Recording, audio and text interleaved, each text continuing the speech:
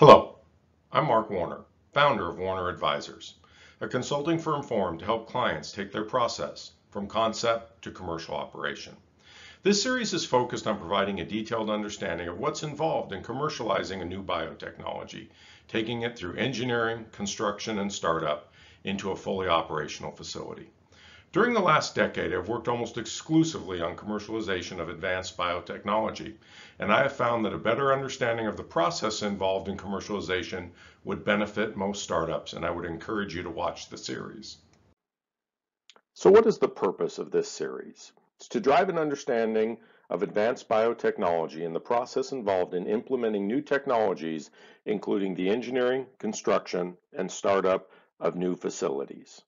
It's also to impart the knowledge for managers and investors on this process to help them evaluate and mitigate risks early in the commercialization process. It's also to identify key financial points for successful commercialization. These often include the evolution of capital cost estimates, how their accuracy and applicability changes over time, and what that means to your fundraising efforts as an example. Contracts, how the contracts for engineering and construction can impact overall project costs, schedule, and financing. Also, the realities of startup and how those realities link to items like production forecasts. And finally, how funding impacts and how you're funding your projects will impact your ability to execute the project. Not every option is available to you in executing your project depending on your source of funds. Who will benefit from this series? Anyone serious about taking a new technology from concept to a fully operational commercial facility. This includes engineering staff who deploy the facilities. The series will provide enough technical detail for engineers taking projects through the commercialization process. Realize this content is not anything that's taught in engineering schools. Technical staff and research and development. This will provide background on the process so that these technical staff understand the data they will need to generate and how that data interfaces with the overall design process. And finally, senior management, board members, and investors. This series will impart an understanding of the project deliverables so that leaders can learn to interpret that information, weigh risk, and make effective decisions based on the information provided throughout the process. So why did I develop this series? My passion is to increase the success rate of new biotechnology ventures making it to commercial scale. To share relevant knowledge with technical and executive staff to allow them to successfully commercialize these new technologies. To cure some of the pitfalls of fundraising and the overall historic success rate of these ventures and allow a better fundraising environment. Quite simply, the hit rate on new commercialization ventures in advanced biotech has not been as good as it needs to be for all of these ventures to continue to raise money, and my goal is to help change that. And finally, to elevate the industry overall. Our success brings everyone up and our failures bring everyone down. It's very hard often to look at others within the industry truly as competitors, while the technologies may be similar, as I said just a minute ago. When someone succeeds, it pulls us all up. When someone fails, it drags us all down. It's for all of our benefit to be able to increase the overall success rate of commercialization. So how is this four-part series formatted? We will move through the project cycle providing examples of engineering work products and what you should expect as you move through the development process. We'll discuss the accuracy of items like capital cost estimates developed during the project cycle and how that information needs to be used to inform investors and manage risk within the process. We'll discuss the link between engineering design and company financial performance. I'm going to try and give a balance of both technical content and real world analogies where possible. The most common analogy I've often found between commercialization of new technologies and construction is often in home renovation. This is something many people have done. It's the one area they've been involved in some level of contracting and construction. And you can actually find a lot of analogies and alignments where things on a home renovation really tie to some of the things you see on a commercial scale project. And they really are. If you look at the lower right, you'll see this is a good example of something that can happen both on a home renovation project and I've frankly seen on a commercial scale construction site. So where possible, we'll try and give some examples that help put uh, the information that I'm providing in context. So let's discuss our example process. To be able to give some real world examples of how a process would be commercialized, I find it valuable to use an actual process. Unfortunately, due to non-disclosure and confidentiality restrictions, I can't use any actual client data. So therefore, I've developed my own process, dimethylglop, DMG. For the purposes of this exercise, we'll assume it's a biologically derived crystalline material that's sold to the plasticizer industry. It's made by aerobic fermentation of a genetically modified bacteria. You can see a basic block flow diagram of the process below. It starts with fermentation, then clarification, crystallization, drying, and packaging. So let's assume the organism is able to excrete its dimethylglop during fermentation into the broth.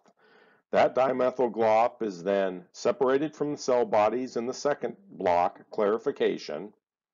It's purified in the third block by crystallization, and it's dried and packaged for sale to the client. You'll also notice below that there are wastewater streams that will need to be dealt with and the main raw materials of sugar, air, and inoculum feeding the process. Project phases covered. The chart below will show the execution timeline and what the different stages within that process are. So let's take a look. If you look in the first area on the left, you're going to notice the development stage. This has three subphases known as FEL1, FEL2, and FEL3, known in the engineering industry as front-end loading or FEL. These are the early stages of development to bring a project from its initial concept to a concept that's vetted well enough to give an accurate cost and to be able to move into design and construction. That second phase, execution, is where the detailed design, the equipment procurement, and the construction of the facility occur. Then in the final phase, commissioning and startup of the facility and hand it over to the operations staff for a fully operational facility is the third phase or the startup. This series will break into these three phases. The second part of the series will discuss development, the third part, project execution, and the fourth part will be startup. Now, as you look at how this lays out, this is what I would call a traditional approach. The approach used by most larger companies and entities that's a proven way to get a project to commercial scale. Now below, you'll see what I call an expedited time to market approach. This is more commonly used in things like advanced biotech, where there's a stronger push to make some risk-based decisions to deploy the technology as soon as possible. You'll see many of these stages overlap some and can be done somewhat simultaneously. There's a little more risk involved in this, but you often can get a much faster project with very limited downside risk if you make those risk-based decisions. It will be the second timeline that I use in my examples, quite frankly, because that's what's used throughout advanced biotech. Most startups who are pushing out a new biotechnology generally have a push for an expedited time to market approach, and it will be this second example that I will talk about, and I'll also talk about some of the ways you make those risk decisions and expedite your process. So why is this series worth your time? It provides a unique perspective on the realities of new technology commercialization, including the link between design of the process and financial performance of the ultimate commercial operation. It also comes from someone who has successfully worked through the process multiple times with very different technologies. And finally, it allows you to learn the hard lessons of others and not to have to discover those yourself. To use an example of the home renovation analogies, I personally have done drywall work.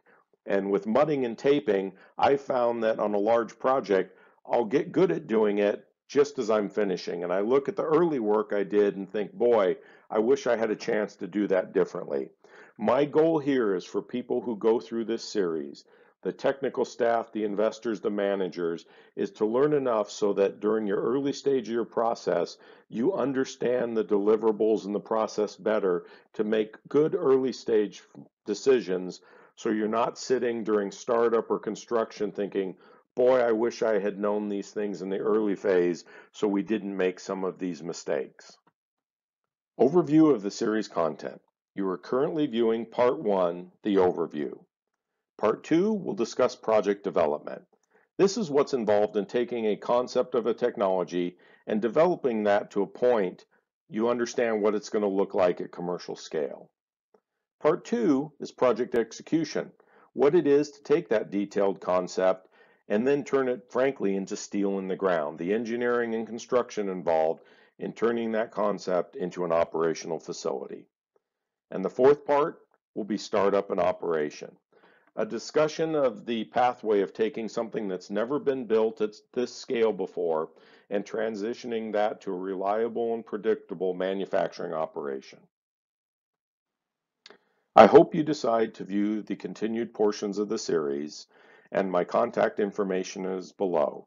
I can be reached at mark at warneradvisorsllc.com or you can find additional information at www www.warneradvisorsllc.com.